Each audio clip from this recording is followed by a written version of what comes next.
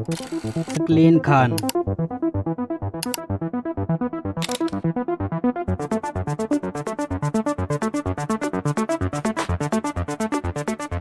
पिछली वीडियो में सकलेन खान की काफ़ी एडिटिंग टेक्निक कवर नहीं हो पाई थी, जो हम इस वीडियो में कवर करने वाले हैं, जिसमें हम सीखेंगे date animation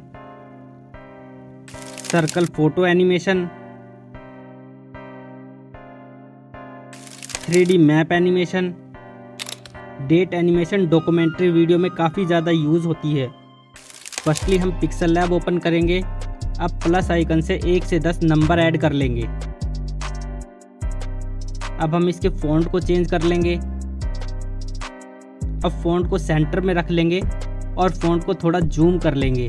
अब फ़ॉन्ट में ग्लो देने के लिए शेडो में जाएँगे एंड इसे इनेबल करने के बाद ब्लर रेडियंस को फुल कर देंगे। अब बैकग्राउंड ट्रांसपेरेंट करके फ़ोटो को सेव कर लेंगे। फाइनली कैपकट में रेड बैकग्राउंड को ऐड कर लिया है. देन ओवरले से नंबर फ़ोटो को ऐड कर लेंगे. अब फ़ोटो को जूम करके लेफ़्ट साइड में प्लेस कर देंगे. अब हम मास्क में जाएँगे और मिरर आइकन को सिलेक्ट कर लेंगे. अब दोनों हाथ से लाइंस को इस तरह एडजस्ट कर लेंगे.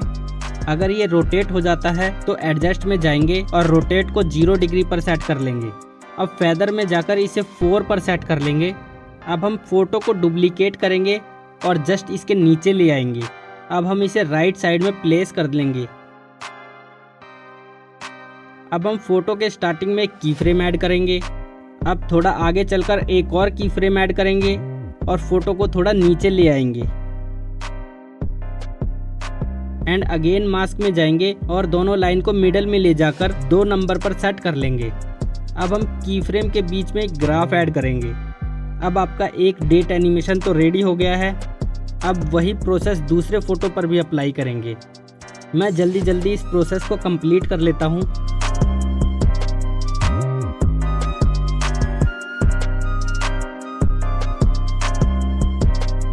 अब हम इसमें टैक्स ऐड करेंगे। अब फ़ॉन्ट को चेंज करेंगे।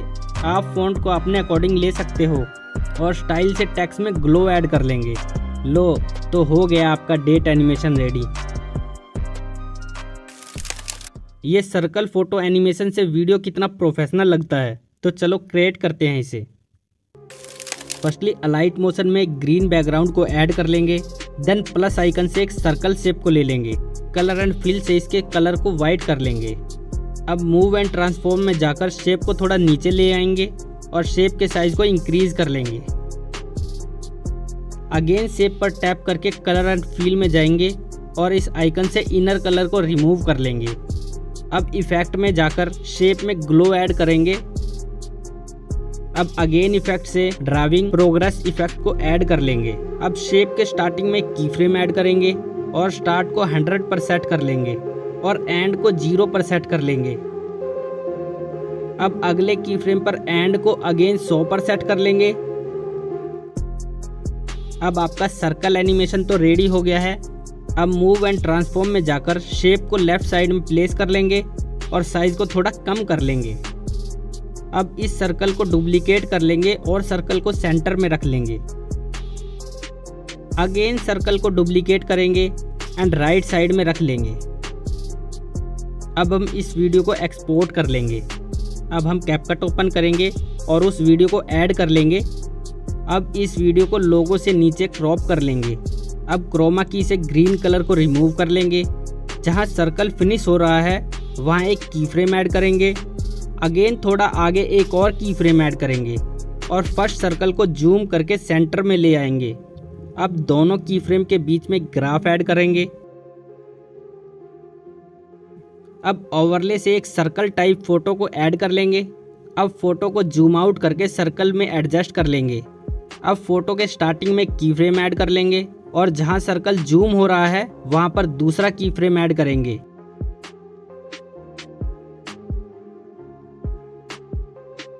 एंड फ़ोटो को जूम करके सर्कल में सेट कर लेंगे।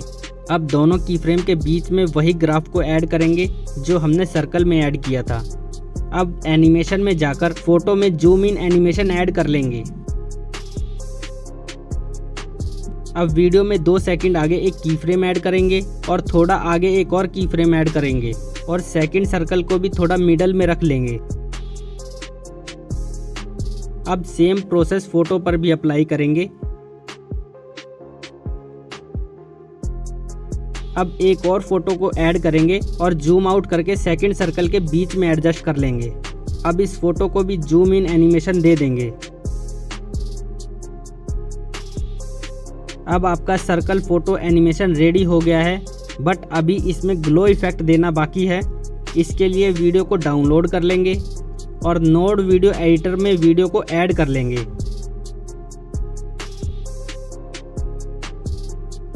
अब यहाँ ग्लो इफ़ेक्ट को अप्लाई कर लेंगे। अब इस वीडियो को डाउनलोड कर लेंगे। अब देखो सेम टू सेम लग रहा है। Map animation. Firstly, map photo को कैपकट में ऐड कर लिया है। अब फ़ोटो की लेंथ को इंक्रीज कर लेंगे।